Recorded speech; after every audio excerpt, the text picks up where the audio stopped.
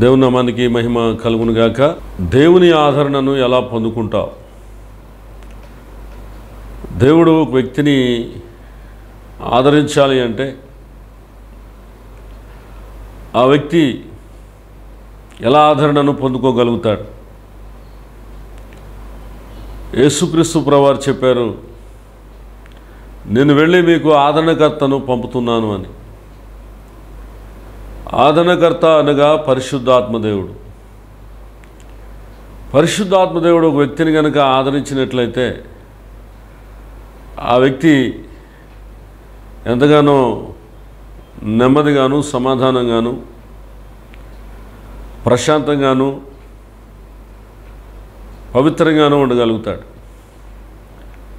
దేవుల్లో ఉన్నటువంటి ఆదరణ ఈ లోకంలో మనకు ఎక్కడా కూడా దొరకదు.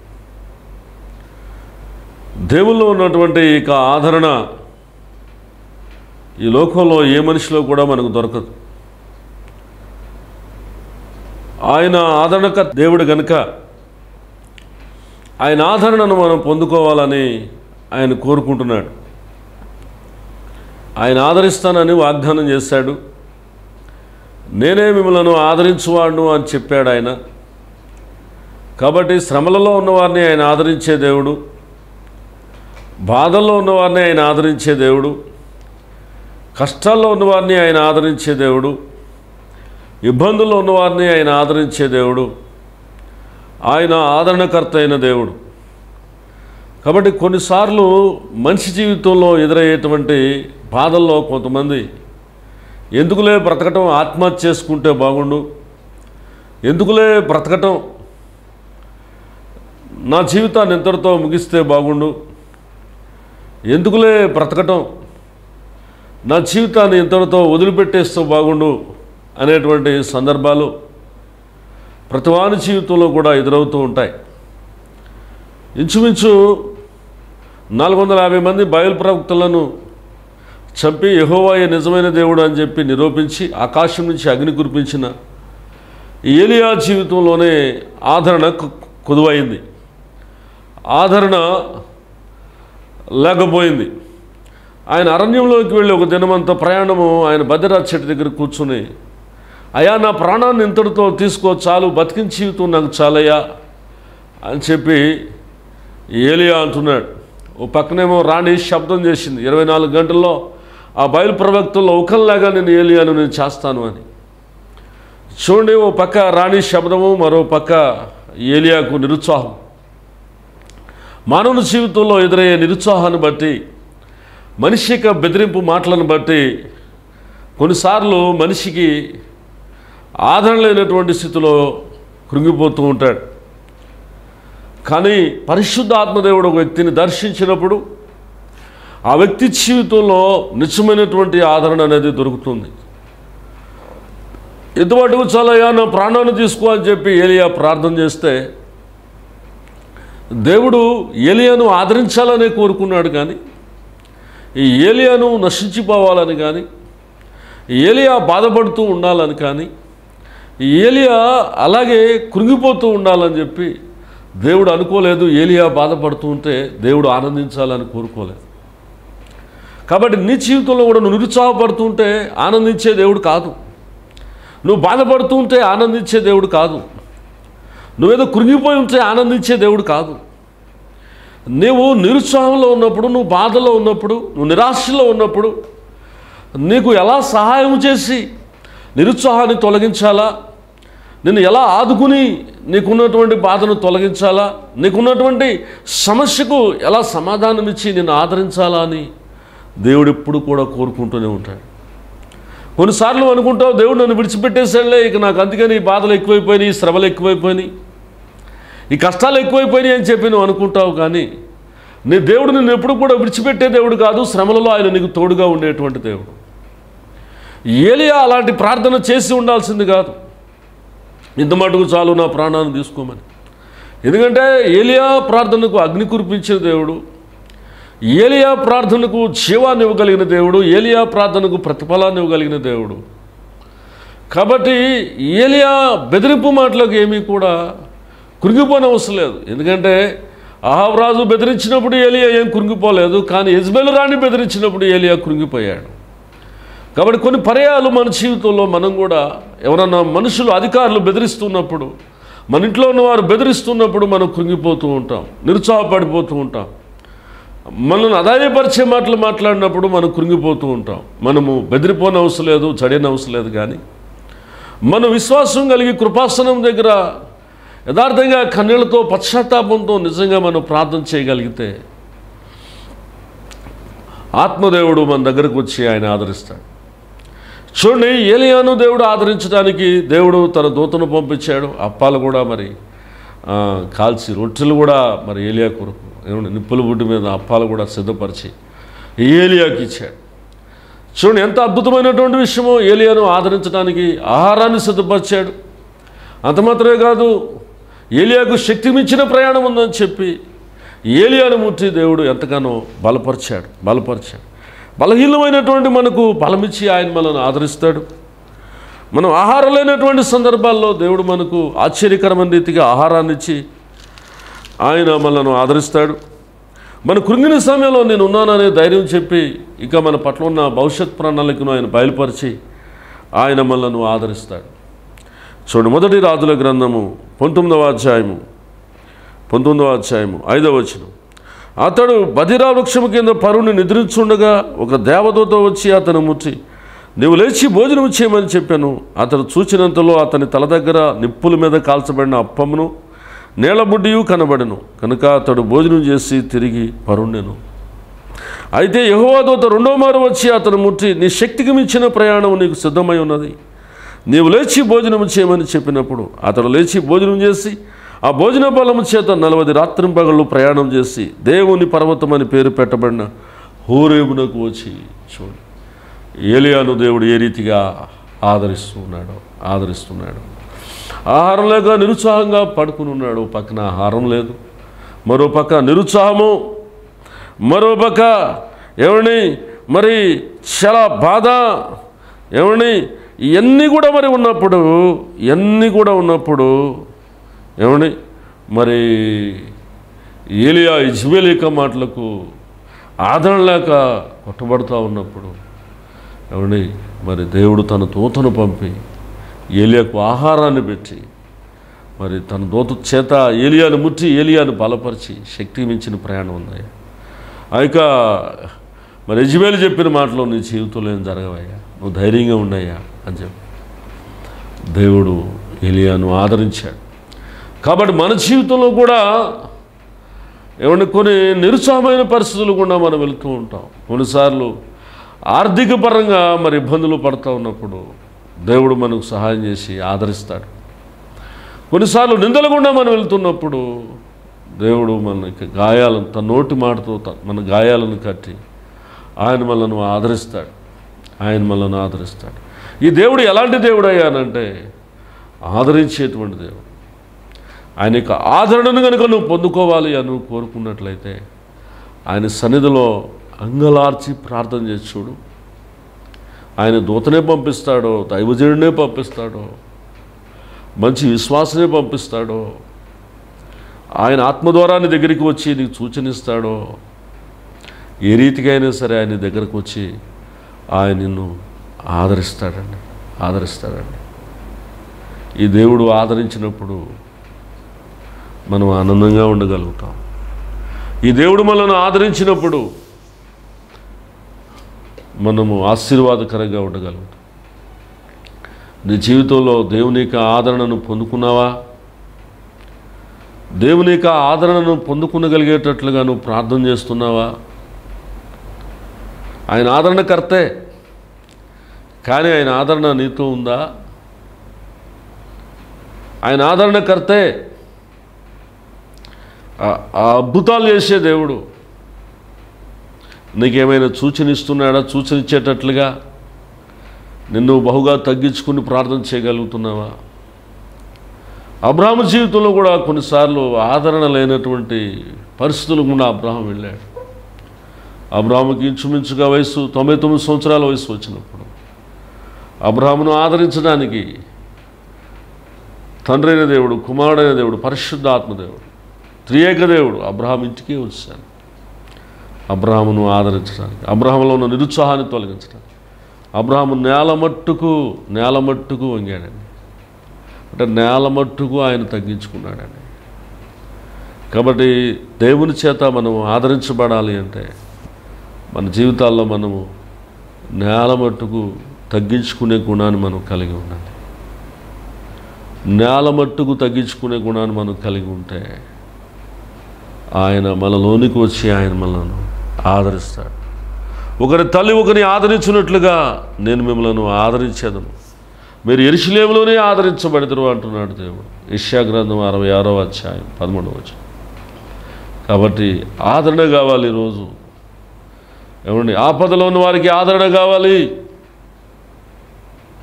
అశాంతితో ఉన్న వారికి ఆదరణ కావాలి. సమస్యలో ఉన్న వాడికి ఆదరణ కావాలి. దిక్కుదారి లేని వాడికి ఆదరణ కావాలి. నువ్వు దేవుని చేత ఆదరించబడితే నువ్వు ఇతరులను ఆదరించగలుగుతావు. నువ్వు దేవునికి ఆదరణ నీ జీవితంలో నువ్వు పొందుకోగలిగితే ఇతరులకు నువ్వు ఆశీర్వాదకరంగా ఉండగలుగుతావు. అబ్రహాం అనేకులను ఆదరించగలిగాడు అంటే అబ్రహాము దేవుని చేత ఆదరించబడ్డాడు ఆదరించబడ్డాడు. నువ్వు దేవునికి ఆదరణ పొందుకునేటట్లుగా నీ అంతరంగంలో నువ్వు తగ్గించుకోగలుగుతున్నావా? దేవునికి ఆదరణ పొందుకునేటట్లుగా నీ అంతరంగంలో నువ్వు అంగలార్చి ప్రార్థన చేయగలుగుతున్నావా? ఈరోజు చాలామంది అంగలార్చి ప్రార్థన చేయడానికి ఇష్టపడరు. ఎవరో ప్రార్థన చేస్తే ఏదో అద్భుతం జరిగిపోవాలని కోరుకుంటారు కానీ. మన అంతరంగంలో ఉన్నటువంటి విచారాలన్నీ కూడా పోయి ఆయన గొప్ప ఆదరణ మనకు నెమ్మది పుట్టించాలి అంటే దేవుని సన్నిధిలో అంగలార్చే విద్యను మనం నేర్చుకోవాలి. ఎప్పుడైతే నీ జీవితంలో నువ్వు అంగలార్చే విద్యను నేర్చుకుంటావో ఆదరణ నీకు దొరుకుతుందండి. ఆదరణ నీకు దొరుకుతుందండి. కనుక నువ్వు ఎన్ని శ్రమల గుండా అయినా కానీ నువ్వు వెళ్తూ ఉండవచ్చు. నీకు ఎవరికి ఆదరణ అవసరం అంటే పరిశుద్ధాత్మిక ఆదరణ అవసరం. ఆది సంఘానికి దేవునిక ఆదరణ ఉంది.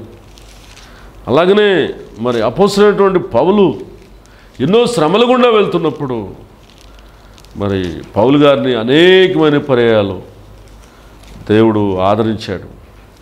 కొరిందులకు రాసినటువంటి రెండవ పత్రిక ఒకటవ అధ్యాయం నాలుగవ వచనం. దేవుడు మమ్మను ఏ ఆదరణతో ఆదరించుచున్నాడో ఆదరణతో ఎట్టి శ్రమలలో ఉన్నవారినైనా ఆదరించుటకు శక్తి గలవారమగునట్లు ఆయన మా శ్రమ అంతటిలో మమ్మను ఆదరించుచున్నాడు. ఆయన మా శ్రమ అంతటిలో మమ్మల్ని ఆదరిస్తున్నాడు కాబట్టి మా దగ్గరికి వచ్చేవారిని మేము ఆదరించగలుగుతున్నామని పౌలు చాలా భారంగా ఈ మాటను కొరిందేలుగు చెప్తూ ఉన్నాడు. ఆపదలో ఉన్నవారు రోగంలో ఉన్నవారు కష్టాల్లో ఉన్నవారు సమాధానం లేనివారు వ్యాధుల్లో ఉన్నవారు ఆర్థికపరమైన ఇబ్బందుల్లో ఉన్నవారు పాపాల చేత కొట్టుమిట్టాడుతున్నవారు వాళ్ళందరికీ కూడా ఆదరణ ఆదరణ ఎక్కడ దొరుకుతుందంటే పరిశుద్ధాత్మని వల్ల మాత్రమే దొరుకుతుంది. కాబట్టి పౌలు గారిని పరిశుద్ధాత్మదేవుడు అనేకమైన పర్యాలు చెరసాలలో ఉన్నప్పుడు కానివ్వండి మరి రాళ్ళ చేత కొట్టబడుతున్నప్పుడు కానివ్వండి పెత్తాలతో కొట్టబడుతున్నప్పుడు కానివ్వండి మరి కొరడాలతో కొట్టబడుతున్నప్పుడు కానివ్వండి రకరకాలైనటువంటి హింసల చేత పౌలు గారిని మరి బాధపెడుతున్నప్పుడు కానివ్వండి పరిశుద్ధాత్మదేవుడు ఆదరించాడు కనుక పౌలు క్రీస్తులాగా మార్చబడ్డాడు. దేవుడు ఆదరించగలిగేటట్లుగా పౌలు గారు అంగలార్పు కలిగి ప్రార్థన చేయగలిగాడు. దేవుడు తనను ఆదరించగలిగేటట్లుగా కన్నీళ్ళతో ప్రార్థన చేయగలిగాడు. చాలామందికి దేవుని ఆదరణ కావాలని కోరుకుంటారు కానీ కన్నీళ్ళతో ప్రార్థించరు. దేవునికి ఆదరణ కావాలని కోరుకుంటారు కానీ అంగలార్చి ప్రార్థన చేయరు ఏమండి? రోదనతో కన్నీళ్ళతో పశ్చాత్తాపంతో పౌలు గారు ప్రార్థన చేసేవాడు. అందుకని పౌలు గారి దగ్గరికి దైవజనులు పంపే ఆదరించాడు మరి అద్భుతాలు చేసి ఆదరించాడు ఏమండి? మరి దూతను పంపే ఆదరించాడు ప్రత్యక్షతనిచ్చి ఆదరించాడు కళ ద్వారా ఆదరించాడో. చాలా పర్యాలు పౌలు గారిని పరిశుద్ధాత్మదేవుడు ఆదరించాడు ఆదరించాడు. కాబట్టి ప్రతిరోజు కూడా మనకు ఎవరి ఆదరణ కావాలంటే దేవుని ఆదరణ మనకు కావాలి. దేవునికి అండ మనకు కావాలి. ఆదరణ అనగా అండ మనకు కావాలి. దేవుని చేత ఎప్పుడైతే నువ్వు ఆదరించబడతావో నువ్వు ఇతరులను కూడా ఆదరించగలుగుతావు. నువ్వు దేవుని చేత ఎప్పుడైతే నువ్వు ఆదరించబడతావో నువ్వు ఇతరులకు ఆశీర్వాదకరంగా ఉండగలుగుతావు. నువ్వు దేవుని చేత కనుక నువ్వు ఆదరించబడకపోయినట్లయితే నీలో ఉన్న అశాంతి తొలగిపోవు నువ్వు దేవుని చేత కనుక ఆదరించబడకపోతే నీలో ఉన్నటువంటి వేదన తొలగించబడదు. నీలో ఉన్నటువంటి సమస్య తొలగించబడదు. నీలో ఉన్నటువంటి పాపము తొలగించబడదు. పాపాత్మురైన స్త్రీని యేసుక్రీస్తు ప్రభువారు ఆదరించాడు. అమ్మా నీ మీద నేను రాయి వేయను. నువ్వు పాపం చేయొద్దు అన్నాడు. రాయి వేయటానికి ఆయన అధికారం ఉన్నప్పటికీ కూడా ఆ పాపాత్రులైన స్త్రీతో యేసుక్రీస్తు ప్రభువారు ఏం చెప్పాడంటే అమ్మా ఇక నీ మీద నేను రాయి వేయను. కాబట్టి ఇక నువ్వు పాపము చేయొద్దు. అమ్మా అని చెప్పి ఆయన ఆదరించాడు. ప్రేమతో పిలిచి ఆయన ఆదరించాడు. దయతో పిలిచి ఆయన ఆదరించాడు. ఆ స్త్రీని ఆయన ఎంతగానో గౌరవించి ఆయన ఆదరించాడు. నిజమైన ఆదరణ నీ దగ్గర ఉందా? నువ్వు దేవుని చేత ఆదరించబడిన వ్యక్తివేనా? దేవుడు నిన్ను ఆదరించాడా? ఒకసారి పరిశీలించుకో. ప్రార్థన చేస్తున్నావు కరెక్టే. ప్రభు ఆత్మ నిన్ను ఆదరిస్తుందా? వాక్యం చదువుతున్నా కరెక్టే. పరిశుద్ధాత్ముడు నీ యొక్క హృదయాన్ని తట్టి నిన్ను ఆదరిస్తున్నాడా వాక్యం చేత? ఆయన వాక్యము ఆదరించేటువంటి వాక్యం. ఆయన కృప నిన్ను ఆదరిస్తుంది. ఆయన వాక్యము నిన్ను ఆదరిస్తుంది. ఆయన వాక్యము నీకు జీవాన్ని ఇస్తుంది. కాబట్టి దేవుడు నిన్ను ఆదరించగలిగేటట్లుగా నువ్వు దేవుని సన్నిధిలో అంగలార్చి ప్రార్థిస్తున్నావా? పౌలే చెరసాలలో ఉన్నాడు. పౌలే బంధకాల్లో ఉన్నాడు స్వార్థ నిమిత్తం. అలాంటి పౌలు చెరసాలలో ఉన్నప్పుడు చెరసాలలో ఉన్న ఒనేసేముకు స్వార్థను ప్రకటించాడు. ఒనేసేముకు దేవుని గురించి చెప్పాడు పౌలు గారు. ఒనేసేముకు దేవుని గురించి చెప్తే ఆ దొంగ అయిన ఒనేసేము నిష్ప్రయోజకుడైన ఒనేసేము ఏమండి? మరి దుష్ట మనసు కలిగిన ఒనేసేము పావులు చెప్పిన మాటల ద్వారా సువార్త ద్వారా ఆదరించబడి పాపాలు ఒప్పుకుని పశ్చాత్తాపడి పరిశుద్ధుడిగా మార్చబడ్డాడు. పరిశుద్ధుడిగా మార్చబడ్డాడు. వనేశ్యం ఇక జైలు జీవితం అయిపోయిన తర్వాత వనేశ్యం బయటకు వెళ్ళిపోయిన తర్వాత రోమా సరసాల్లో ఉన్నటువంటి పౌలు గారిని అనేకమైన పర్యాయాలు వనేశ్యము ఆదరించగలిగాడు. ఏమండి? మరి గురువు గారిని ఇప్పుడు ఈయన ఆదరిస్తున్నాడు. ఎందుకు ఆదరించగలుగుతున్నాడంటే వనేషంలో ఆదరణకర్త ఉన్నాడు కాబట్టి. నీలో ఆదరణకర్త ఉన్నాడా? నీలో ఆదరణకర్త ఉంటే నువ్వెన్నిసార్లు నీకు శ్రమలు వచ్చినా నీవు ఏమాత్రం కూడా భయపడక. నీవు ఆదరణ పొందుకుంటూ ఇతరులను కూడా ఆదరించాలని ప్రయత్నం చేస్తావు. మొదటి తిమోతికి రాసినటువంటి రెండవ పత్రిక ఒకటో అధ్యాయం పదహారు పదిహేడు వచ్చినాను ప్రభు వనేసిపోరు ఇంటి వారి అందు కనికరము చూపునుగాక. అతడు రోమాకు వచ్చినప్పుడు నా సంఖ్యలను గూర్చి సిగ్గుపడక శ్రద్ధగా నన్ను వెతికి కనుగొని అనేక పర్యాయాలు ఆదరించను. అనేకమైన పర్యాయాలు ఏం చేశాడండి వనేషేము ఏమండి? పౌలు గారిని ఆదరించాడట. ఏమండి? పౌలు గారిని ఆదరించాడట. పౌలు గారిని ఆదరించగలిగినటువంటి ఆత్మీయత వనేషంలో ఉంది. నువ్వు ఆత్మీయుడు అయితే నువ్వు ఇతరులను ఆదరించగలుగుతావు. నువ్వు ఆత్మ కలిగిన వాడు అయితే ఇతరులకు నీవు ఆదరణకరమైన మాటలు చెప్పగలుగుతావు. నువ్వు ఆత్మీయుడు అయినట్లు అయితే ఇతరులకు ప్రభుని గురించిన మాటలు చెప్పి వారిని వాదార్చగలుగుతావు వారిని ధైర్యపరచగలుగుతావు. వనేశ్యములో ఆదరణకర్త ఉన్నాడు కాబట్టి వనేశ్యము ఆదరణకరమైన మాటలు పౌలు గారికి చెప్పగలిగాడు. కాబట్టి నీవు ఆదరణకరమైన మాటలు చెప్పగలుగుతున్నావా? నువ్వు ఆదరణకరమైన మాటలు పలగలుగుతున్నావా ఒకసారి పరిశీలించుకోండి పరీక్షించుకోండి.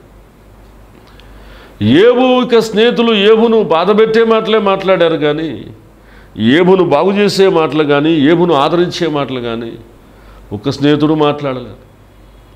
మీరు బాధకేకర్తలు కానీ ఆదరణకర్తలు కాదు అంటున్నాడు ఏబు. కానీ ఏబు బిడ్డలను కోల్పోయినా భార్యను కో భార్యతో చేత నిందలు అనుభవిస్తున్నా ఆరోగ్యాన్ని కోల్పోయినా ఆస్తిని కోల్పోయినా ఏవు ఆదరించేటువంటి దేవుని ఆత్మను కోల్పోలేదు. ఏవును ఎవరు ఆదరిస్తున్నారా అంటే తన చుట్టూ ఉన్న స్నేహితులు కాదు కానీ తన బాధల్లో ఉన్నప్పుడు పరిశుద్ధ ఆత్మదేవుడే ఏవును ఆదరిస్తూ ఉన్నాడు. అందుకని ఏమేమంటున్నాడో తెలుసండి? ఇదిగో నా పెదవుల మాటలు మిమ్మల్ని ఓదార్చి ఆదరించును అంటున్నాడు. ఏబు గ్రంథం పదహారవ అధ్యాయం ఐదవ వచనంలో. నా పెదవుల మాటలు మిమ్మల్ని ఓదార్చి ఆదరించును అంటున్నాడు. కాబట్టి ఏబు అంత బాధలో ఉన్నా కానీ ఏబు మాట్లాడుతూ ఉంటే స్నేహితులకు ఏం కలుగుతుందట? ఆదరణ కలుగుతుందట. స్నేహితులకు ఏం కలుగుతుందట? ధైర్యం కలుగుతుందట. ఏబు మాట్లాడుతూ ఉంటే ఆత్మమైన బలం కలుగుతుందట. ఎందుకంటే ఏబులో ఎవరున్నారంటే పరిశుద్ధాత్మ దేవుడు ఉన్నాడు దేవునికి స్తోత్రం కలుగును కానీ నీలో పరిశుద్ధాత్మ దేవుడు ఉంటూ ఉన్నప్పుడు నువ్వు పలికే మాటలు ఇతరులకు ఆదరణిస్తాయి. ఇతరులకు దేవుని గురించిన నిరీక్షణ కలగజేస్తాయి. ఇతరులకు దేవుని ఎడల విశ్వాసాన్ని పుట్టిస్తాయి. ఇతరులకు దేవుని వద్దకు తీసుకురావడానికి మార్గాన్ని చూపిస్తాయి. కాబట్టి నీ జీవితంలో ఎవరు ఉండాలంటే పరిశుద్ధాత్మ దేవుడు ఉండాలి. ఆయన మనలో ఉండి ఆయన ఇప్పుడు కూడా మనను ఆదరిస్తూ ఉంటాడు. ఆయన మనలో ఉండి ఆయన మార్గంలో మనల్ని నడిపిస్తూ ఉంటాడు. ఆయన మనలో ఉండి ఆయన పోలికలోకి మనల్ని ఆయన మారుస్తూ ఉంటాడు. కనుక మన ప్రభునందు విశ్వాసాన్ని మనం ఉంచినప్పుడు మనలో ఎలాంటి మాటలు ఉంటాయంటే ఆదరణకరమైనటువంటి మాటలు ఉంటాయి. ఆదరణకరమైన మాటలు ఉంటాయి. మనలో ఎలాంటి మాటలు ఉంటాయంటే ఆశీర్వాదకరమైన మాటలు ఉంటాయి. ఇతరులకు మేలుకరమైనటువంటి మాటలు ఉంటాయి. కాబట్టి నీ నోటి మాటలు ఎలా ఉన్నాయి? ఆదరించేవిగా ఉన్నాయో అశాంతిని కలగజేసేవిగా ఉన్నాయా? నీ నోటి మాటలు బాగు చేసేవిగా ఉన్నాయా? బాధ పెట్టేవిగా ఉన్నాయా? నీ నోటి మాటలు దీవెనకరంగా ఉన్నాయా? మరి ఎవరిని ఈ లోకాన్ని చూపించేవిగా ఉన్నాయా? పరీక్షలు చేసుకోండి పరీక్షించుకోండి. ఎసయా అని రక్తంతో నన్ను కడిగయ్యా. ఎసయా అని రక్తంతో నన్ను శుద్ధి చేయా అని. సిలువ వైపు చూడు. సిలువ నిన్ను ఆదరిస్తుంది. సిలువ నిన్ను క్షమిస్తుంది. సిలువ నీ మీదకు దేవుని కనికరం వచ్చేటట్లుగా చేస్తుంది. సిలువ నిన్ను దేవుని ఎదుట పవిత్రునిగా మారుస్తుంది.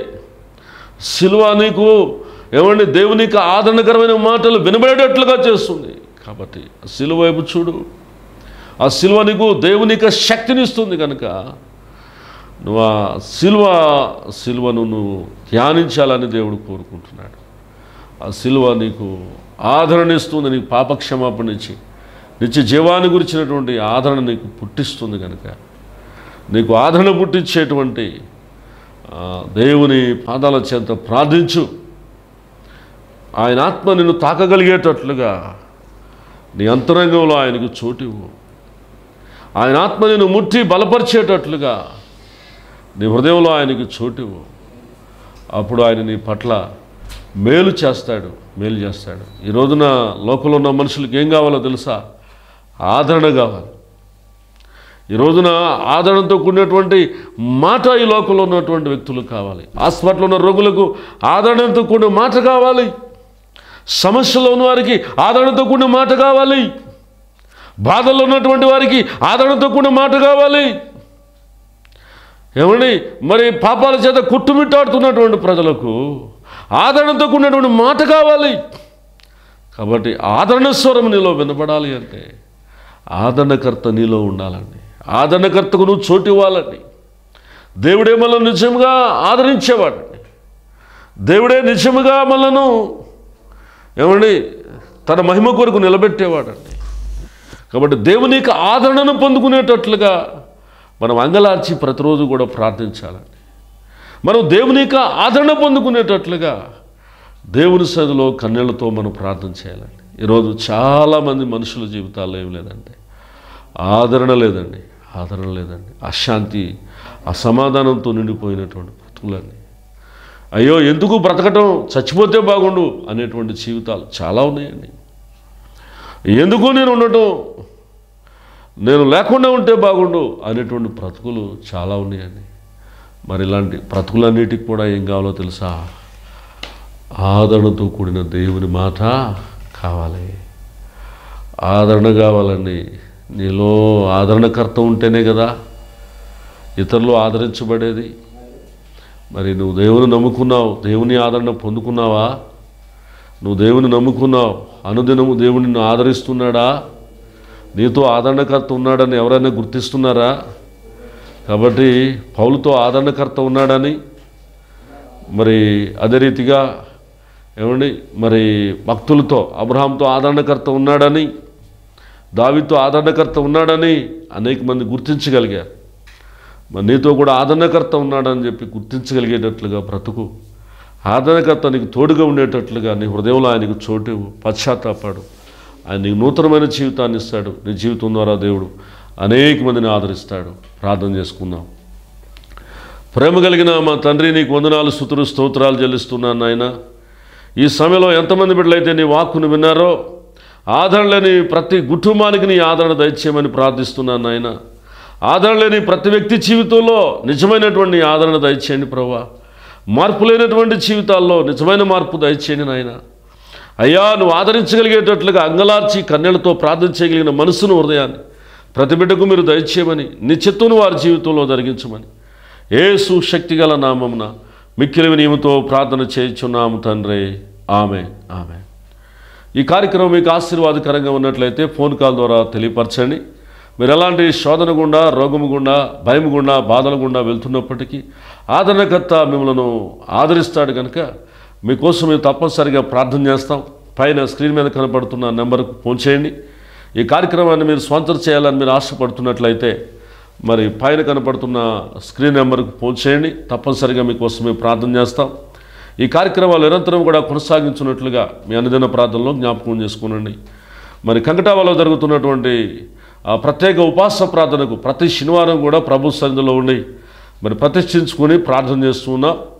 మరి ఆ యొక్క ఉపాస కూడికకు మిమ్మల్ని ప్రత్యేక మీరు ఏ విధమైన సమస్యత పీడించబడుతున్నా ఆ యొక్క ఉపాస కూడికకు మీరు వచ్చినట్లయితే తప్పనిసరిగా మీ సమస్య నుంచి దేవుడు విడుదల చేస్తాడు.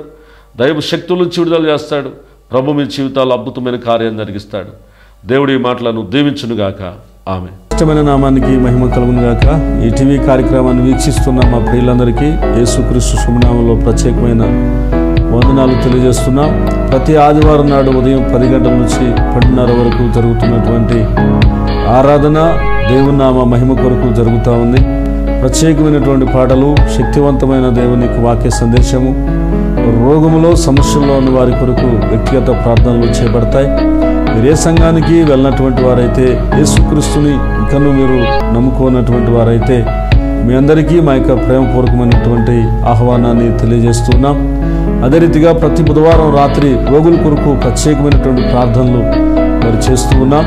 బుధవారం రాత్రి ఎనిమిది గంటల నుంచి పది గంటల వరకు జరిగేటువంటి ప్రార్థనలో మీరు ఎలాంటి అనారోగ్యంతో ఉన్న ఆ ప్రార్థనా కుడికలో మీరు పాల్పొంపులు పొందినట్లయితే పరిశుద్ధాత్మ దేవుడు మిమ్మల్ని తప్పనిసరిగా స్వస్పరుస్తాడు ప్రతి శనివారం రాత్రి ఎనిమిది గంటలకు జరిగేటువంటి ఉపవాస కూడికల్లో మీకోసం మేము ప్రత్యేకమైనటువంటి ప్రార్థనలు చేయబోతున్నాం. దైవ శక్తుల చేత చేతపరి శక్తుల చేత మీరు పీడించబడుతున్నట్లయితే ఆ ప్రార్థనా కూడికలో మీకోసం ప్రత్యేకంగా మేము ప్రార్థన చేయబోతున్నాం. కనుక క్రీస్తావాస ప్రార్థనా మందిరం ద్వారా మిమ్మల్ని అందరినీ కూడా ప్రేమపూర్వక ఆహ్వానిస్తూ ఉన్నా మా యొక్క address reverend K Hanok Kankatava post Gudur మండలం కృష్ణా జిల్లా pin code five two one one four nine మీ ప్రార్థనా అవసరతల కొరకు మరి ఫోన్ చేయవలసిన number double nine four eight zero four five six four five